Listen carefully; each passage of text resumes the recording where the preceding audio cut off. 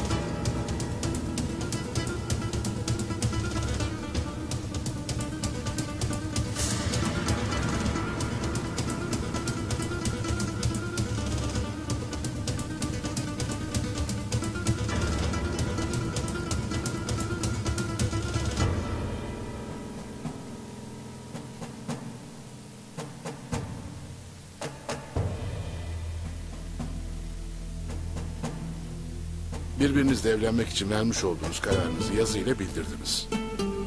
Evlenmenize bir mani olmadığı görüldü. Şimdi resmi talebinizi benim ve şahitlerin önünde sözle de tekrarlayınız. Siz Eda Güler, hiçbir etki altında kalmadan, tamamen kendi iradenizle, varlıkta ve yoklukta, sağlıkta ve hastalıkta, birbirinize destek olmak koşuluyla, Tolga Altınsoy'la evlenmek istiyor musunuz?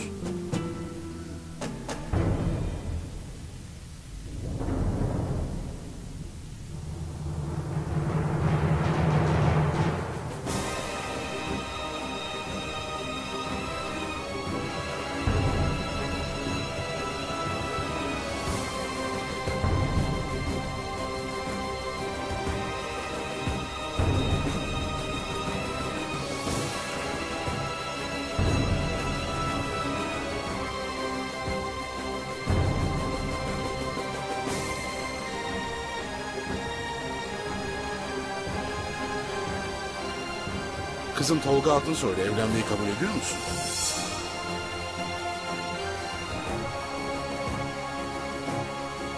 Eda?